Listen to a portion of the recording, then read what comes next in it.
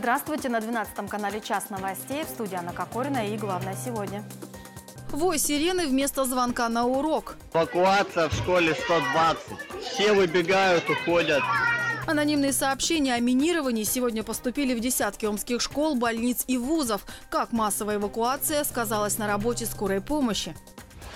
Беспрерывные бомбежки, 40-градусные морозы и голодные очереди даже в семьях, чтобы облизать нож, которым резали хлеб. Так вот сегодня очередь тебе облизывать ножик, а завтра мне облизывать. В России отметили 75-летие освобождения северной столицы. Ужасы блокадного Ленинграда вспоминали и в Омске. Жестокие игры со скотчем, липкой лентой в одном из детских садов Омска трехлеткам якобы заклеивали рты. Ситуацией заинтересовались следователи. Распродажа онлайн. В поисках лучшего предложения шопоголики штурмуют интернет-магазины. Я могу, допустим, в магазине быть два часа, все могу протестить, посмотреть. И я понимаю, что да, наверное, это болезнь в какой-то мере. Вслед за «Черной пятницей» запредельные скидки до 90% россиянам дарит киберпонедельник. Как выгодно купить нужное и не уйти в минус.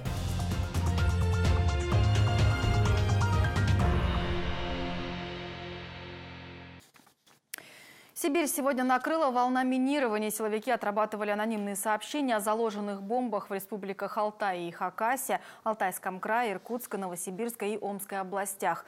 О том, что происходит, оперативно докладывали полпреду в Сибири Сергею Миняйло. Ситуация находится на контроле и у губернатора Александра Буркова. А мечей призывают сохранять спокойствие и действовать в соответствии с указаниями компетентных органов и администрации учреждений. В городе эвакуировать пришлось больше полусотни учреждений. Это школы, вузы, службы занятости и больницы, здания судов и департаментов мэрии. Атаке подвергся и хоспис для тяжелобольных взрослых. Везде работали спецслужбы. Добрались телефонные террористы и до Омского района. Признаков взрывных устройств нигде не обнаружено. Юлия Думанова продолжит. Эвакуация в школе 120. Все выбегают, уходят. Занятия прервали, детей вывели из школы, и все это в мороз. Учеников сегодня вынужденный выходной, то же самое еще как минимум в двух десятках школ. Эвакуировали пациентов и из областной детской клинической больницы. Некоторые сегодня специально приехали из области. Приема ждали на улице. Мы приехали из Саргатки. У нас на сегодняшний день талон. Мы сегодня приехали, нам сказали, что идет эвакуация. Ну и что или ехать домой, или если здесь родственники, то здесь побыть. Серега не замерз? Не замерз. Эвакуировать пришлось и тяжелобольных пациентах. Их на носилках перенесли в соседнюю поликлинику, благо она рядом. Мы всех их утеплили, полностью выделили одежду, одеяло дополнительно, полностью все выдали. Вот. С продуктами питания вопрос тоже решен. Мы приготовили продукты питания, отправили туда полностью готовые смеси, так что детей мы будем кормить. Волна минирования дошла и до поселка Омский. Там, пишут в соцсетях, эвакуировали местную школу, ДК, детский сад и фельдшерско-акушерский пункт. В Омске же закрыть пришлось полсотни учреждений. Вывели людей из зданий вузов, в частности из СИБАДИ, Института сервиса, а также служб занятости, здания судов и департаментов мэрии. Туда тоже поступили анонимные сообщения о минировании. На каждом объекте дежурила машина скорой помощи, бригады даже снимали с вызовов. Проверки продолжаются. По состоянию на текущий момент признаков закладки взрывных устройств не обнаружено. Мы призываем граждан сохранять спокойствие и действовать в соответствии с указаниями компетентных органов и администрации учреждений. Аналогичная ситуация в других городах Сибири. В Красноярске, Новосибирске также массово эвакуировали школы и больницы. Там сообщения поступали в том числе и на электронную почту. Эта волна минирования не первая для России. Больше года назад она охватила 75 из 85 регионов страны. Всего из тысячи торговых центров, вокзалов и других объектов эвакуировали 2 миллиона человек. Ущерб только в Москве составил 150 миллионов рублей. Ни в одном случае угроза взрывов не подтвердилась. После этого ответственность за телефонный терроризм ужесточили. Теперь максимальное наказание по статье 10 лет лишения свободы. Юлия Думанова и Вадим Насардинов, 12 канал. Омская полиция тем временем опровергла сообщение о найденных в школах взрывных устройствах. Сегодня в соцсетях появились видео, на которых некий Амич показывает пришедшие ему в WhatsApp голосовые сообщения от одной из родительниц. Та встревоженным голосом сообщает, что спасатели якобы вынесли боевые гранаты из школы номер 33. По ее словам, там учится ее ребенок, и всех детей эвакуировали раздетыми на улицу. В полиции это видео назвали провокацией. Информация об обнаруженных боеприпасах не соответствует действительности. У каждого заминированного учреждения дежурили спецслужбы. Полицейские, спасатели и медики обязаны реагировать на такие звонки. Скорые к потенциально опасным объектам направляли практически со всех городских подстанций. Поэтому тем, кто остался в поле, пришлось работать вдвое больше. Это при том, что за последнюю неделю количество вызовов в сутки увеличилось до 1400. Как фельдшеры справились с такой сверхнормативной нагрузкой, знает Екатерина Балучевская. Рабочий день фельдшера начинается в 8.30 утра. Обычно несколько бригад отправляются на вызовы, оставшиеся дежурят. Но сегодня медики едва успевали меняться. Большинство машин отправили к якобы заминированным учреждениям. Это обязательное требование. В итоге в поле от каждой из городских подстанций были максимум 3-4 бригады. На обследование больного у фельдшера в среднем полчаса. Но при такой загруженности подстанции, как сегодня, работать приходится оперативно. С собой все самое необходимое. Аптечка с препаратами для оказания первой помощи, бинты, глюкометр, тонометр, системы, растворы. А у руководителя группы еще и сильнодействующие препараты, чтобы, например, купировать приступ. Впрочем, ставить капельницы фельдшерам не пришлось. Госпитализировать больных, по крайней мере, нашей бригаде тоже. Но работы не убавилось. Медики говорят, за последнюю неделю количество вызовов увеличилось до 1400. Такого не было и в новогодние праздники. Но причина не грипп. Нагрузка очень большая. Рост обеспечивает в основном хронические заболевания, обострение хронических заболеваний у взрослых людей. Это артериальная гипертензия, это люди, перенесшие инсульты, инфаркты, люди с хронической патологией органов системы дыхания. Но вот эти вот хронические вызовы, конечно, добавляют нам работы очень сильно. Ну и оперативные показатели в любом случае начинают уступать. Вот только в выходные дни мы укладывались в 18-минутный интервал, время ожидания. До этого интервал достигал уже 24 минут. Сегодня диспетчеры старались распределить вызовы максимально рационально. Бригады отправляли на ближайшие к подстанциям адреса. Но из-за нехватки машин некоторым все же пришлось ездить с одной окраины города на другую. Хорошо говорят медики, что теперь не нужно вручную заполнять карты больных. Это отнимает много времени. Все данные автоматически заносят в специальный планшет. По словам медиков, устройство незаменимо, оно может служить и телефоном, и навигатором, но самое главное, именно благодаря нему стало намного проще получать информацию о вызове. Если раньше для этого приходилось переговариваться с диспетчером по рации и записывать данные, а это адрес и симптомы вручную, сейчас все они автоматически приходят на планшет. Кроме того, здесь сразу можно открыть электронную карту больного, а еще, что немаловажно, установлена кнопка СОС. Программу специально загрузили в связи с участившимся нападением на медиков. Кстати, планшет достаточно прост в использовании, как только на на него поступает информация, он сигнализирует, а, и фельдшерам остается нажать только кнопку «Принять», она автоматически появляется на экране, а, чтобы диспетчер понял, что бригада отправилась на вызов. Нередко, по словам фельдшеров, вызовы бывают необоснованными. Люди придумывают симптомы, которых попросту нет, или же требуют вылечить своих питомцев. А у кого-то в этот момент счет идет на минуты, говорят медики. И еще раз напоминают, набирать 03 стоит, когда действительно нужна неотложная помощь. Екатерина Булучевская, Сергей Никифоров, 12 канал. Ипотечный займ по льготной ставке в 6% в этом году получит почти в три раза больше аймичей. Об этом в ходе заседания рабочей группы Госсовета заявил Александр Бурков. Оживление строительного рынка стало основной темой федерального совещания. Напомню, к 2024 году, согласно майским указам президента, темпы жилищного строительства должны увеличиться до 120 миллионов квадратных метров в год. Чтобы оживить рынок, нужно снижать ставки по ипотеке, считает министр строительства и жилищно-коммунального хозяйства России Владимир Яковлев. Якушев. В качестве позитивного примера привели Омскую область. В нашем регионе в прошлом году был запущен пилотный проект. Амичи могли получить ипотечный займ под ставку в 6% или финансовую поддержку на первый взнос. На это было выделено 360 миллионов рублей. В этом году, отметил Александр Бурков, планируется выдать уже 440 ипотечных займов.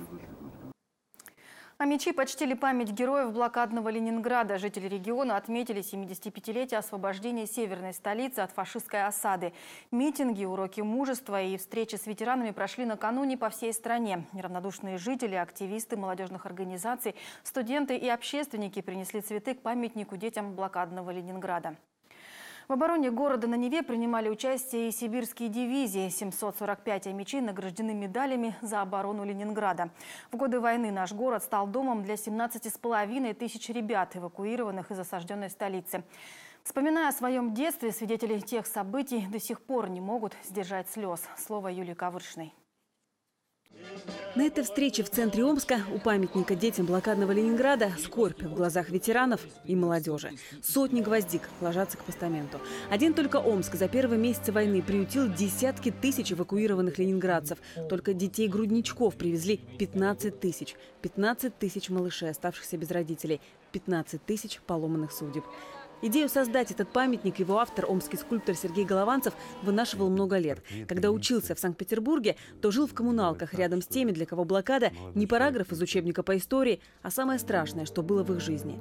Эскиз монумента Голованцев показал на Совете ветеранов. Вспоминает, что многие тогда расплакались. Они увидели себя, понимаете, вот одна бабуленька старенькая, уже за 8 с лишним лет, она говорит, господи, да это я, говорит, мне было столько лет.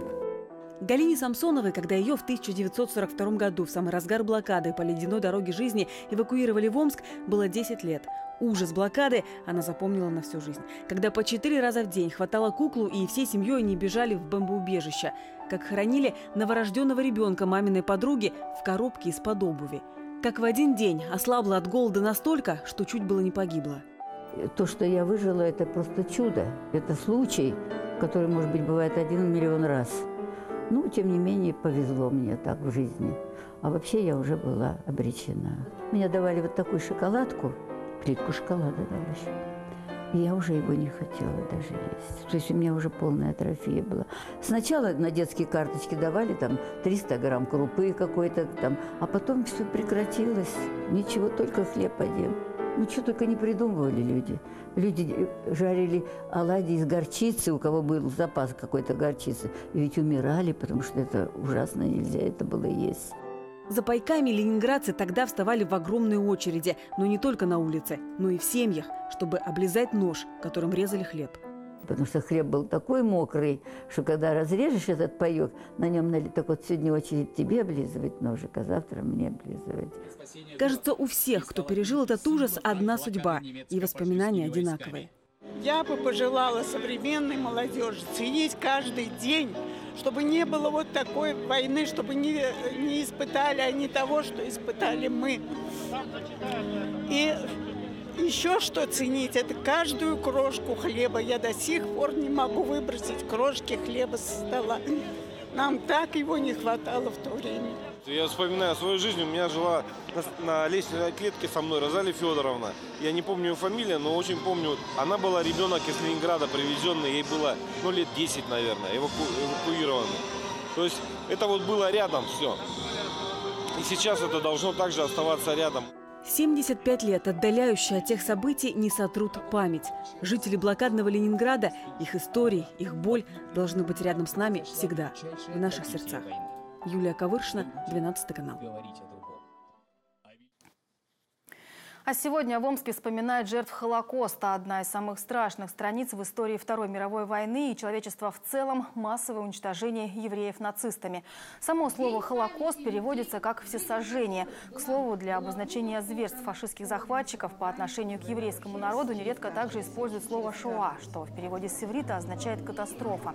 Всемирным днем памяти жертв Холокоста по решению ООН выбрано 27 января.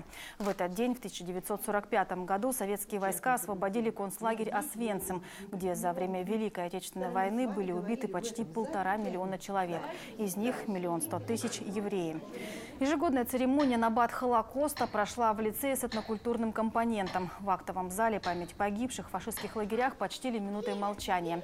После ученики лицея, родители, педагоги и гости по древней еврейской традиции возложили на импровизированный мемориал камни и зажгли свечи памяти. При этом каждый, подходя к мемориалу, читал стихи о войне или рассказывал историю своей семьи.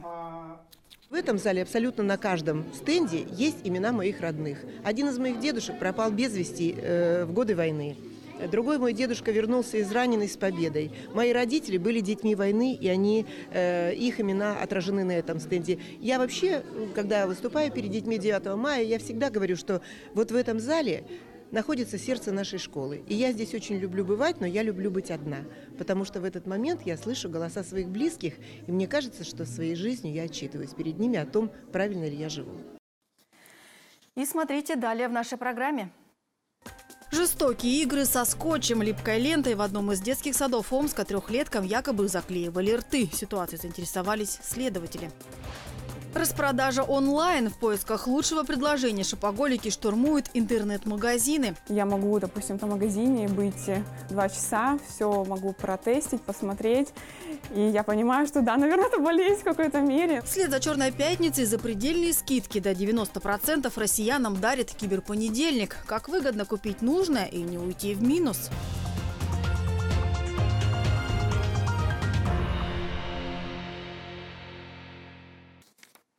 Региональный Минстрой проведет энергетическое обследование коммунальных предприятий области. Такое поручение специалистам ведомства сегодня дал губернатор Александр Бурков. Только 11 районов области сейчас не имеет задолженности, либо речь идет о незначительных деньгах. Наибольшие суммы приходятся на коммунальные организации пяти районов – Калачинского, Марьяновского, Омского, Таврического и Черлакского. Должники должны были до 1 января рассчитаться с долгами, однако этого не только не произошло. В ряде районов задолженность перед поставщиками энергоресурсов еще и выросла. И будем смотреть, где, в чем причины вот этих потерь, роста долгов, да, и будем понимать, или здесь сбои в управлении, где-то кто-то не дорабатывает, или кто-то где-то хитрит. Омские следователи выяснят, действительно ли в детском саду номер 330 воспитатель заклеивала детям рты скотчем. На неадекватное поведение педагога в соцсетях пожаловалась одна из матерей. По ее словам, воспитатель заклеивала трехлетним детям рты и запугивала их, чтобы те не рассказывали об этом родителям. С заявлением Амичка уже обратилась в прокуратуру и городской департамент образования. Следственными органами Следственного комитета Российской Федерации по Омской области организовано проведение доследственной проверки по сообщениям ВКонтакте и в ряде средств массовой информации о том, что в Омском детском саду воспитательница связывала детей и заклеивала скотчем рот малышам. В ходе проверки будут проверяться опубликованные сведения, тщательно выясняться все обстоятельства и дана правовая оценка действиям работников детского сада. По результатам проверки будет принято процессуальное решение в порядке статьи 145 УПК РФ.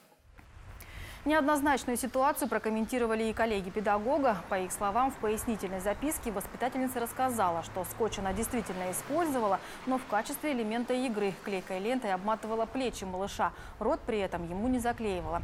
Сейчас сотрудница уже уволена из детского сада. Что же касается матери якобы пострадавшего ребенка, то сообщить подробности корреспондентам 12 канала женщина отказалась и закрыла профиль в социальной сети. Публикацию о Мичке сейчас активно обсуждает пользователи. Многие из них выступили в защиту педагога. Они утверждают, что лично знакомы с женщиной и никогда такого за ней не замечали. За покупками в интернет в России сегодня киберпонедельник – одна из самых крупнейших распродаж. На виртуальных прилавках товары с огромными скидками до 90%, а ассортимент от еды до крупной бытовой техники и даже услуг. И если за рубежом на сейле можно действительно сэкономить, то вот в России культура распродаж пока еще только формируется. Эксперты утверждают, что настоящих распродаж в нашей стране нет. Так ли это и почему шопинг психологи называют отклонением? Дарья Шадрина разбиралась. Кисти, основу под макияж, тональные средства, пудры и тени. Профессиональную косметику Валерия заказывает через интернет. Так и удобнее, и дешевле. Да и выбор на виртуальных витринах зачастую больше, чем в бутиках. Впрочем, и туда девушка заглядывает частенько. Признается, она шопоголик. В плане косметики, да. Я для себя это осознала, вот, наверное, там год назад, что я могу, допустим, в том магазине быть два часа, все могу протестить, посмотреть. И я понимаю, что да, наверное, это болезнь в какой-то мере. Ну, может быть, и, конечно, это не есть хорошо, потому что денег уходит очень много. Традиция проводить ежегодные сейлы в нашу страну пришла из США. Грандиозные предрождественские распродажи здесь начали устраивать еще в 19 веке. В 20-м появился термин «черная пятница». Сейчас это самое долгожданное время для шопоголиков. В дни, когда цены падают до 90%, практически на все все товары. Люди в буквальном смысле штурмуют супермаркеты. Стараясь урвать подешевле, с полок сметают даже ненужные вещи. За некоторые дерутся. Специалисты говорят, такое поведение сравнимо с болезнью. Есть у него даже название – шопоголизм. Иногда, когда мы чувствуем некую глубокую тревогу, чувствуем, что в этом мире что-то идет не так, да, что мы не контролируем там какие-то вещи, мы пытаемся себя успокоить, э, приобретая то, что нам, может быть, и не очень нужно, но то, что греет нам душу самим фактом владения. Да. То есть, когда мы начинаем окружать себя вещами, мы как бы упорядочиваем свой внутренний мир. Мы себя успокаиваем. Скупая с прилавков товары по красным ценникам. Многие верят, что неплохо при этом экономят. Маркетологи раскрывают тайны. Реальная может быть скидка максимум в 50%.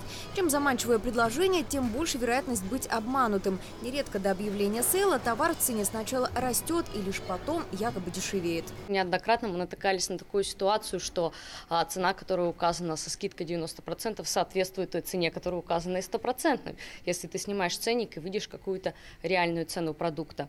Ну, действительно, некоторые моменты а, в какие-то распродажи, какие-то вещи действительно обходятся дешевле потребителю, чем в какие-то обычные дни, но это чаще связано с ликвидацией каких-то коллекций, с одеждой и так далее. Безусловно, надо понимать, что магазины не могут торговать себе в убыток, иначе теряется весь смысл бизнеса и зарабатывания денег. Действительно, сэкономить можно на демисезонных распродажах. Так, к примеру, шубу выгоднее покупать в конце зимы, а шорты и майки в преддверии осени.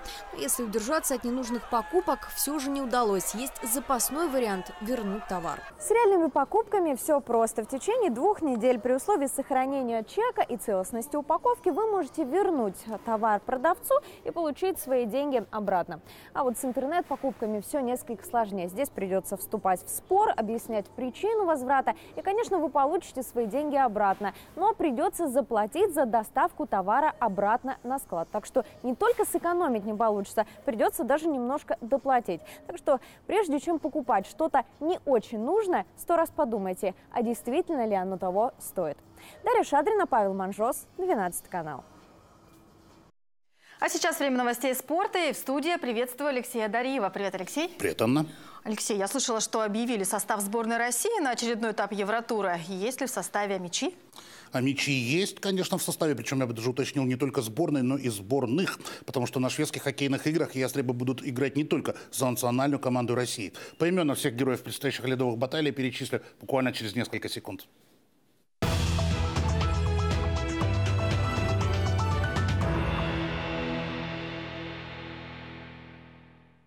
Штаб сборной России назвал состав национальной команды на третий этап Еврохоккей-тура – шведские хоккейные игры.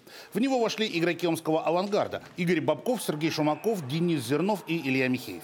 Первый матч на шведских играх для россиян будет вынесенным. Его наша сборная проведет 7 февраля в Ярославле против финнов.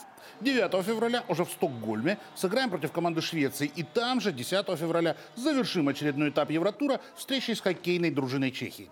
Помимо россиян, для участия в Евротуре в состав сборной Финляндии вызван защитник авангарда Вилли Пока.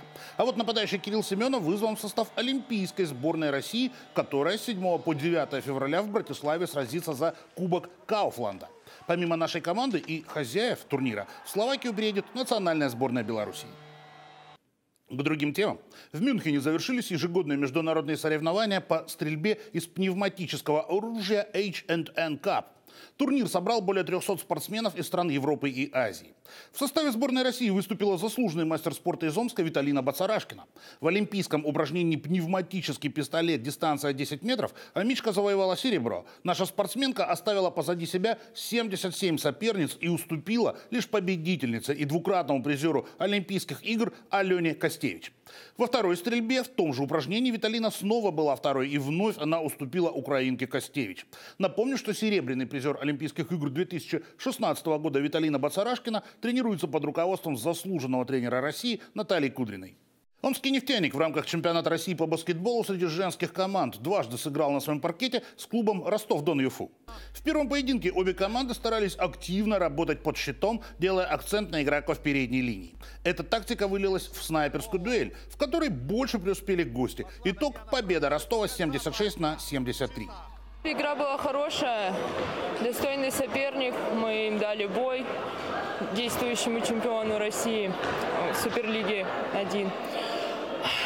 в какой-то момент повели, плюс 10. Не могу сказать, что успокоились, но но немного потеряли концентрацию. В это время воспользовался соперник этим, забил несколько очков подряд сравнял счет, потом повел уже. Начало повторного матча получилось для нефтяника по-настоящему кошмарным. В первые 10 минутки амишки позволили соперницам набрать 31 очко. К середине третьего периода нефтянику удалось сократить отставание до трех очков, однако дальнейшего развития этот успех не получил. В течение двух с половиной минут ростовчанки восстановили солидный отрыв, который и удерживали вплоть до финальной сирены, победив в итоге со счетом 82 на 67. Не получилось забить, отзащищаться с некоторыми игроками. Пропустили много трехочковых. Вначале провалились. И вот такой исход. 29 и 30 января «Нефтяник» проведет очередные домашние матчи со ставропольчанкой СКФУ. Это все, о чем я успеваю рассказать сегодня. Любите спорт. Спасибо. Это были новости спорта от Алексея Дариева. И последнее. В Омске сильно похолодало. Сегодня ночью температура воздуха опускалась до минус 38 градусов. Завтра, по прогнозам синоптиков, точно не станет теплее. Ночью будет до минус 34. В среду морозы немного ослабеют, правда, всего на день. В четверг ночью температура снова опустится до 30 градусов мороза.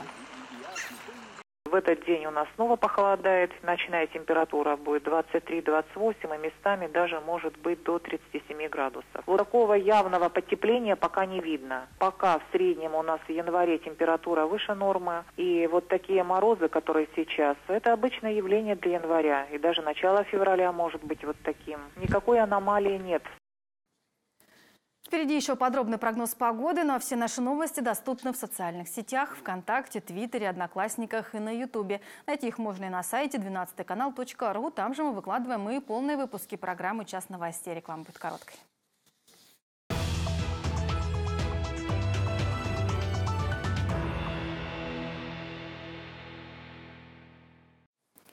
С любовью и заботой из города Невеста в Омском континенте последние дни работает ярмарка текстиля из Иванова. Изделия из трикотажа, стопроцентного хлопка, кулирки и интерлока разнообразных форм и размеров радуют мечей богатым ассортиментом и качеством.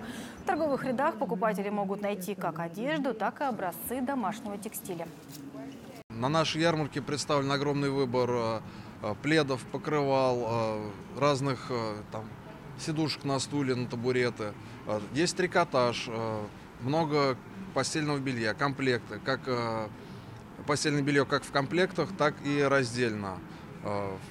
То есть просто не наволочки, пододеяльники. Очень много привезли подушек, одеял вот, на любой вкус и цвет, от самых дешевых до элитных.